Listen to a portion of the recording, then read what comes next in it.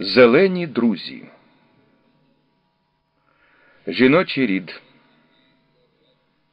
Це ми визнати повинні, хочемо чи не хочемо, все найкраще іменами названо жіночими.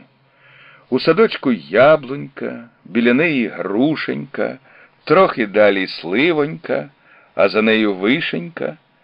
І ми розуміємо, чому так виходить. І яблунька родить, і грушенька родить, і сливонька родить, і вишенька родить. А те, що не родить, що ми менше любим, звем по-чоловічому грабом або дубом. Мій сусід розказує про свою контору. Працює їй право, наче серед бору. І директор дуб, і заступник дуб, і начальник дуб, і бухгалтер дуб. Тільки секретарочка в приймальні хороша. На свіж...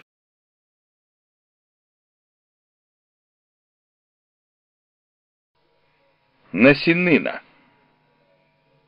Погожих днів чекала насіннина, коли настане сонячна година.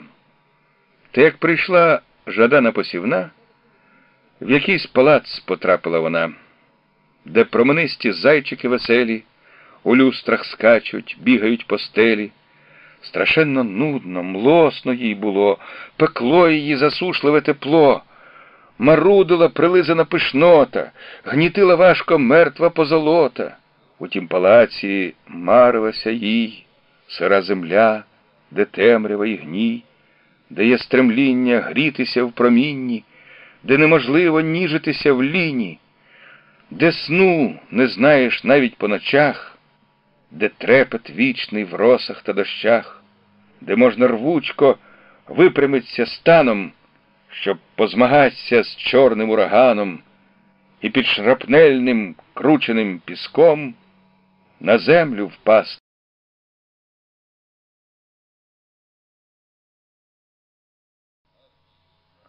Свинота. Порося під дубом жолуді ковтало. Дуб сказав харчуйся та нагулюй сало.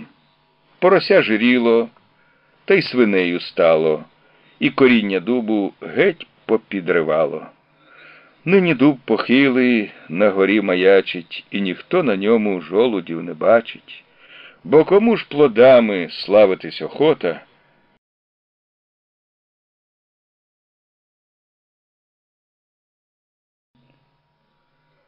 Неввічливість.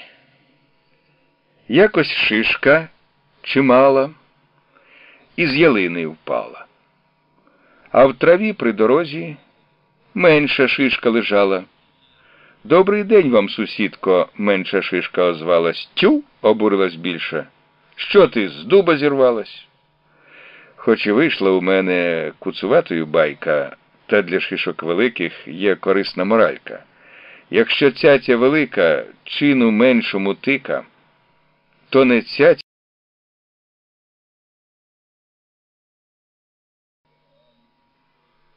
Подвійна біда. Гостро критикує гусінь черв'яка. Звідки взялася наволоч така? Від тієї критики яблуні біда. Одне її точить, друге об'їда. Регалії. Сусідоньку мій. Ой, які ж ви чудові. Казала сосна стовпові. Скільки на вас гарних прикрас, чашечок чистих, блискучих. Любо мені слухать пісні ваших дротів співучих. Стовп її слухав і думав тайком, хай теліпає собі язиком. Це нерозумне створіння. Що мені чашечки, що мені бляшечки?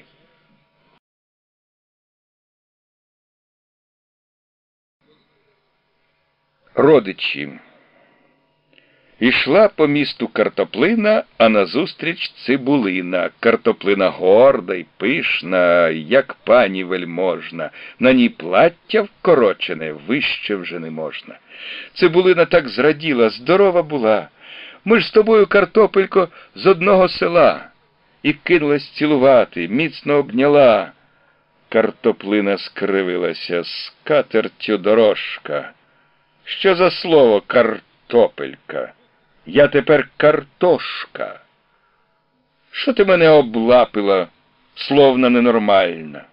Це уму непостижимо, яка ти нахальна. Просто ужас, яка в тебе грубая манера. Обнімає, наче п'яний міліціонера. Лізе тобі на голову, хапає за боки. Село якесь нагадує. Що це за намьоки? Що за мода цілувати? То в щоки, то в лоба. Може, в тебе там чесотка чи якась мікроба. Це, як буде цілувати цибулина кожна, то я то же якраз плюнуть сиграть у ящик можна. Що за ніжності телячі? Ти забула вроді, що ми в городі з тобою, а не на городі. Будеш лізти і цілуватись до баби своєї. Видать, зразу з провінції, із перифереї. І брикнула цибулину модним закаблуком. Фе, сказала, як от тебе сильно пахне луком. І між людьми зустрічаєм лукаву породу, яка хати цурається.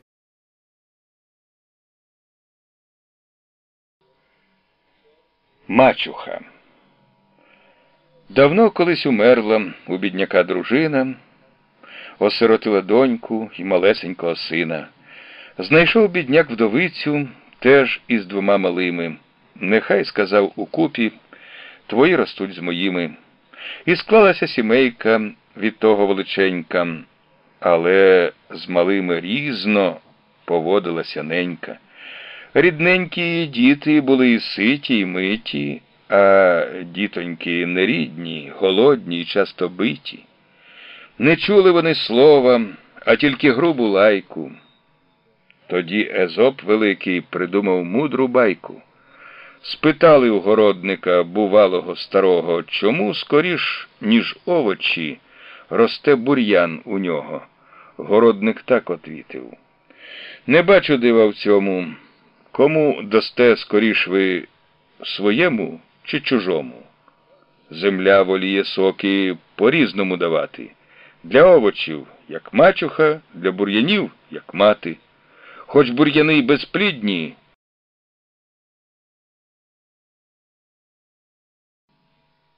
Відвага. Зимою огірок в оранжереї ріс. І так вигукував, який придумав біс посіять огірки у цей холодний час. Ми ж ростемо пусті. Який наїдок з нас? Ти що потякаєш, обурився буряк. На кого критику наводиш неборак? А огірок йому не лайся без причин. Я можу критикнуть, не дивлячись на чин. Хоч побалакаю, і то вже благодать. Чого боятися?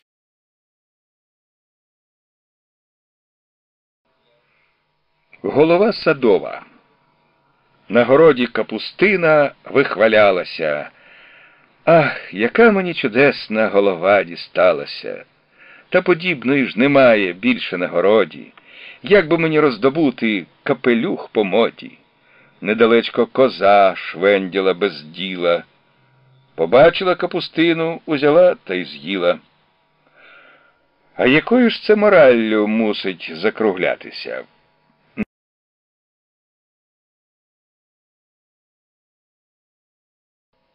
Вигода. В дворі стояло дерево безплідне, засохле, кострубате, жалюгідне, збиралися на ньому горобці та цвірінчали по ночах цикади. Отож хазяїн якось вийшов з хати з блискучою сокирою в руці і заходився дерево рубати. Ударив раз, а потім ще і ще. І бачить, мед по стовбуру тече. Там у дуплі гніздо було бджолине. На що ж рубать? Таке добро загине. Тепер хазяїн дерево старе оберігає, як зіницю ока, пом'якшила душа його жорстока, бо він же з нього меду набере. Навіть у пня старого друзі є, коли той пень.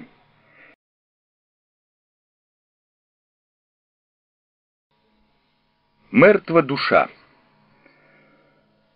Дуб стояв у чистім полі, генер за селом, по сусідству з телефонним тесаним стовпом. Стовп гудів. За тебе, дубе, я давно боюсь. То шумиш ти, то скрипиш ти, то тріщиш чомусь. Вчись у мене, як я точно і правильно гуду, як розумно, неухильно лінію веду. А якби отак до тебе прикріпить дроти, всі гойданням та хитанням обірвав би ти. Помилятись ти не вмієш, обізвався дуб. Не тому, що дуже мудрий.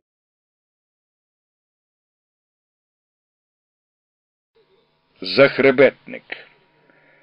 Мандрували по пустині подорожні люди, їм повітря перегріте обпікало груди, від утоми очі їхні крилися туманом, прилягли вони спочити під старим платаном. Вгору глянувши, промовив молодий старому. Видно, користі платан цей не дає нікому, не бува плодів на ньому, ще й криві гілляки, а платан подумав гірко, дочекавсь подяки. Спочиває піді мною, холодку куняє і потякає, що з мене користі немає. Поведем розмову далі на болючу тему. Так, бува, сидить ледащо на горбі твоєму і на долю нарікає, галасує гучно.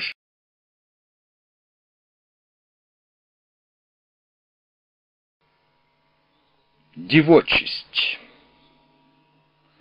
Росла над ставом лобода, така зелена, молода, і розрослася, і дозріла, і восени стояла ціла а біля хати і край села троянда пишно розцвіла. Її увечері зірвали, комусь ласкаво дарували, і загубили в ніч глуху, і розтоптали на шляху. Мораль ясна тут зрілим людям, та я зрадію лиш тоді, якщо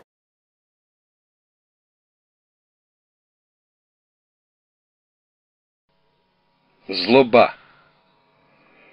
Це було колись веселим, звичаєм народним. Зустрічалися знайомі перед Великодним і вербовою лозою до плечей торкались, а при тому предковічна пісенька співалась. Верба б'є, не я б'ю. За тиждень Великдень, недалечко червоне яєчко, а злобливі довірливим наганяли страху, лупцювали лозиною із усього маху.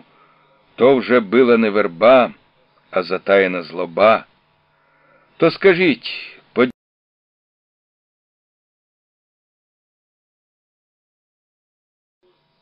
Наклеп. У літню годину, у сонячну днину, розбійник убив безневинну людину. Знайшли його люди в високій траві. Чого твої руки питають в крові? Шовковицю, каже, я їв під горою, тому в мене шкіра і стала такою. А люди злочинця за лютий розбій взяли і розп'яли на шовковиці тій.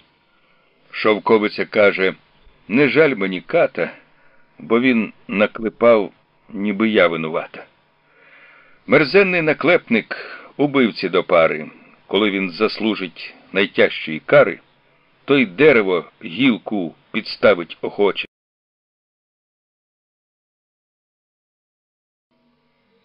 Буйний хміль. Гей, по ліщині, буйний хміль повився, духм'яним цвітом вкрився, обліпився, лопатим листям звісився на тин. Ішла п'яненька баба з ішла і співала Хмелю зелененький, ще й примовляла Хмелю молоденький. від тебе втіха, щастя і благодать, нема без тебе доброго дозвілля, нема без тебе гарного весілля. Дозволь мені тебе поцілувати. Влізла баба на високий тин, бо сказано ж, ішла із іменин, а тин, як трісне, впавши на дорогу, забилась баба, вивихнула ногу, захлипала, сумної завела. Бодай ти хмелю висох і розпався, бодай твій цвіт вітрами розмахався.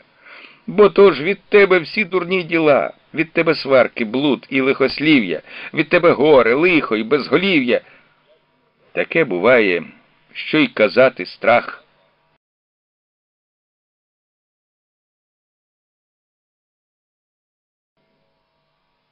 Абревіатура Стовбичив пень серед дороги, об нього люди били ноги, а натикався часом віз, летіли спиці із коліс. Що пень отой являв собою, ніхто гаразд не знав ніде. На ньому чорною смолою було написано ПД. ПД, доводив одут пишний, це помдиректора колишній. Ні, каркав ворон лісовий. Професор доктор це новий. Ні, крякав грак чорноголовий. ПД це просто пень дубовий. Ламалися за возом віз, летіли спиці з коліс, а пень стирчав серед дороги, його не брав ніякий біс. Ніхто не важив скорчувати, бо не могли розшифрувати. Страшнішого немає пня, ніж.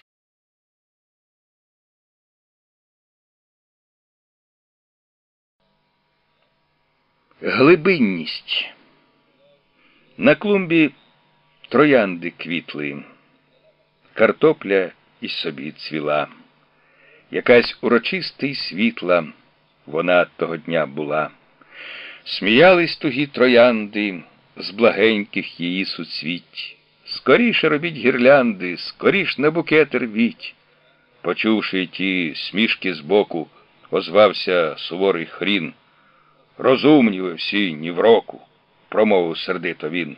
Оближте насмішки грубі, картопля не просто цвіт, хто в корі.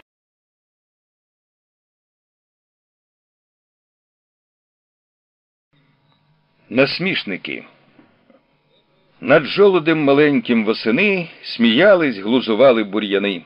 Га-га, лежиш та тлієш, ха-ха, рости не вмієш. Прийшла весна. Почав дубок рости та стрімко набирати висоти. Та як пустив коріння на всі боки, та як почав земні качати соки, з цієї і тієї сторони дзвенить, шумить. А де ж ті бур'яни? Що з жолудя малесенького кпили, розвіялись.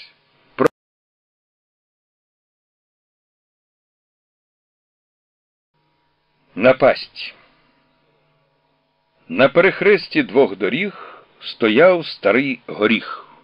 У літню спеку холодком приваблював усіх, а особливо восени народ валив туди, коли жовтіли на гілках смачні його плоди. І кожен кидав, що попав, каміння і дрючки, і листя падало дощем ламалися гілки. Горіх схилявся у журбі. Отак я й пропаду, бо сам вирощую собі нещастя та біду. Не зневажаєте ж ви того, кого спітка біда. Вона не тільки на лихих та підлих напада. Один прекрасний чоловік мав душу золоту і бідував.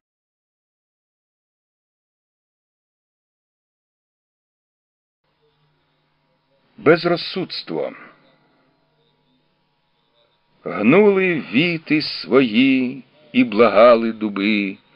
Добрий Боже, ти нам більше зла не роби. Йде по світу луна, аж за хмарами чуть, як сокирами нас під коріння січуть. Боже, громом удар, ті сокири розбий. І почули дуби голос Бога гучний. Що сокири лихі, в тому істина є, але хто ж для сокир топорища дає, топорище для них даєте ви самі.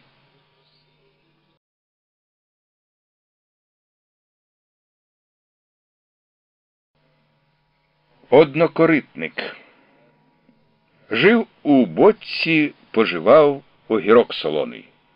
У розсолі він лежав, зморщений і сонний. А недавно овоч цей сильно запишався. Братці, знаєте, про що я оце дізнався? Розповів мені гарбуз у рудій сорочці, що філософ Діоген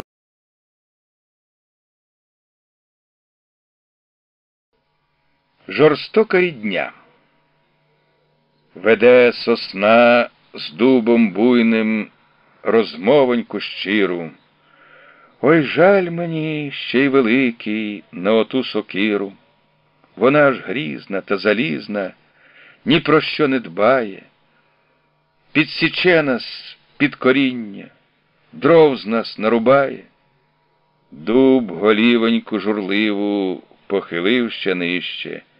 Не жаль мені на сокиру, жаль на топорище. Топорище тій сокирі помага погане, а воно.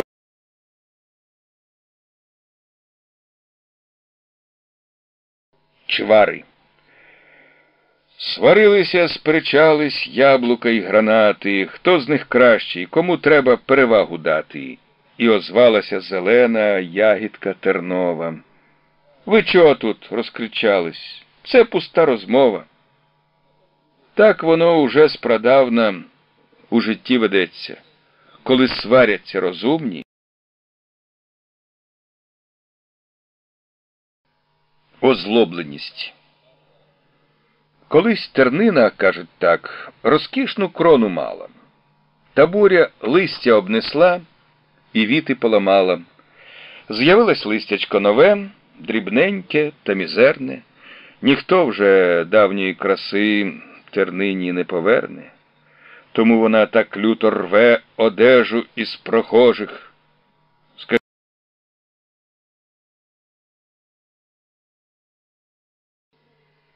Непридатність. Перед тереном засохлим вихвалялася сосна. Ти покорчений, колючий, я висока та міцна. З мене роблять речі дивні, світлі храми, кораблі, а із тебе люди мають тільки ягідки малі. Терен мовив, це я знаю. У цьому, звісно, правда є. Та згадайно, як сокири тіло нівичать твоє, як на тебе омертвілу валять брили кам'яні, і пишатись перестанеш, будеш заздрити мені. Отже, терен тим гордиться, що нікуди не годиться, що зробить не можна з нього ні стовпа, ні сір.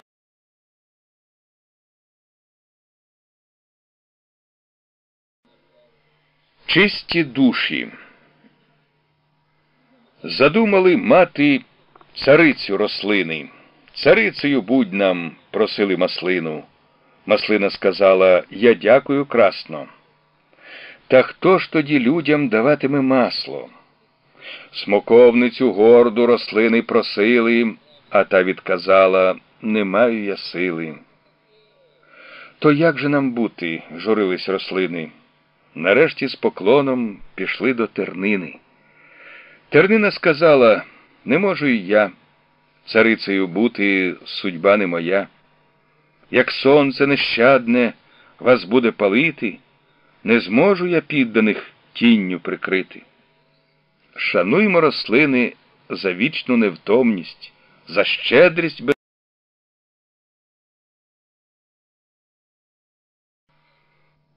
Відплата. Цап рогатий бородатий виноградну гриз лозу, ще й гукав на допомогу козеняток і козу.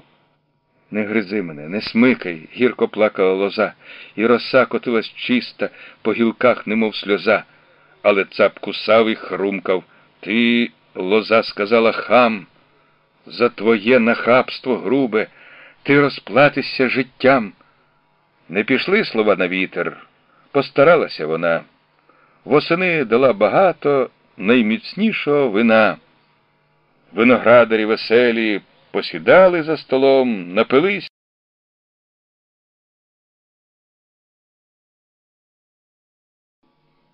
Любов. У стиглій груші жив черв'як. Він говорив про неї так. Яка ж вона солодка й мила, моє здоров'я в ній сила, прекрасне все, що в груші є, мені належить, все моє.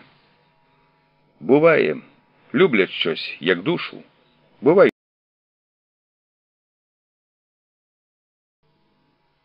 Велелюбність. Ішов по місту сатирик Пилип. Почував він себе героєм. Липень був і тому біля лип бджоли й мухи вертілись роєм. З неба сонце світило ясне. І промовив Пилип урочисто. Ох, якби то, якби то й мене, так як липу любили всі чисто. Що ти вигадав? Голос, як грім, пролунав за плечима Пилипа. Той сатирик, що милий усім.